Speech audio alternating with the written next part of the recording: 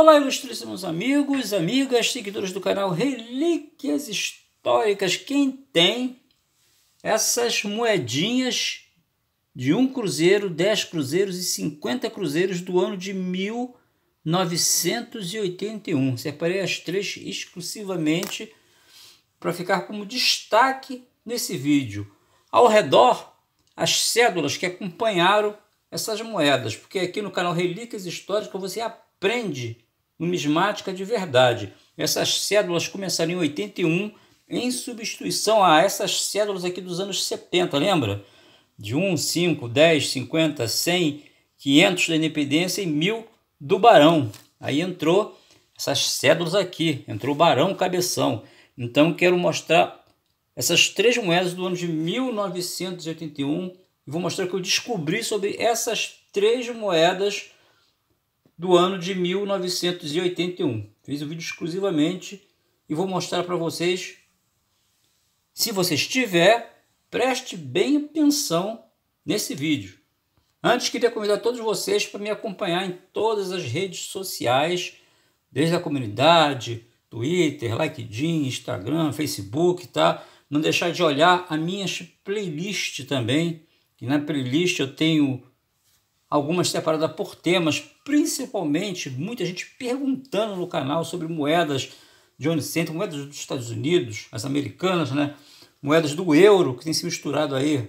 Eu já recebi moedas de 5 centavos de euro, de 10 centavos de euro, junto com as do real, moedas da, da França, da Itália, de Portugal, da Alemanha e dos países sul-americanos, nossos irmãos aqui sul-americanos. Então, eu tenho duas playlists separadas só com essas cédulas e moedas. E outra coisa também, muita gente perguntando por que, que o senhor não faz um vídeo sobre limpeza de moedas. Gente, eu demorei, mas fiz. No dia 28 de abril desse ano, eu fiz um vídeo que o tema é assim: Como limpar suas moedas, segredos revelados pela primeira vez. Então, um vídeo de 16 minutos, tem todos os segredos, tudo sobre você fazer uma limpeza numa moeda sem danificar ela, sem arranhar ela, sem estragar a sua moeda.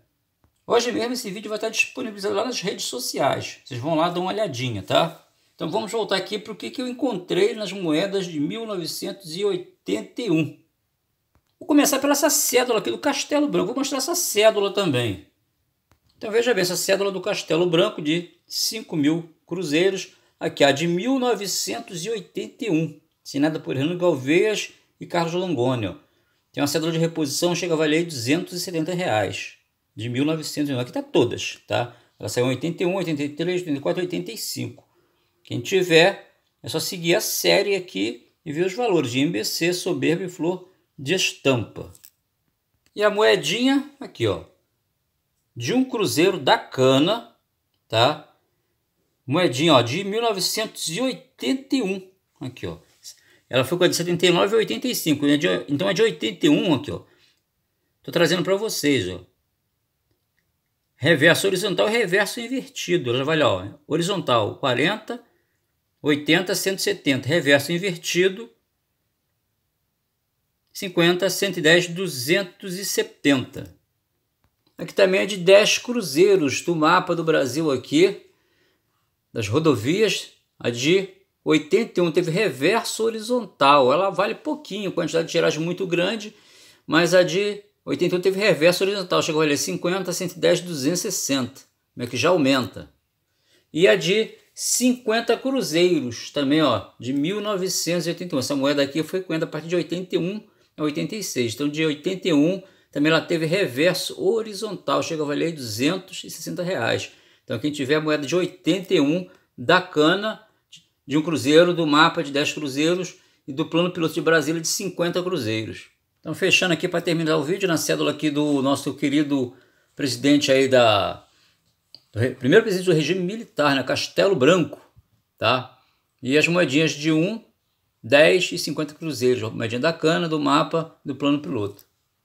Então, quando sempre digo, quem tem essas moedinhas aqui, dá uma olhadinha, quem sabe você pode se dar bem. Obrigado a todos pela atenção, forte abraço, fiquem todos com Deus, até o próximo vídeo e não se esqueça de ir lá nas redes sociais ver aqueles vídeos. Quem perdeu, não perca os vídeos sobre a limpeza de moedas, ok?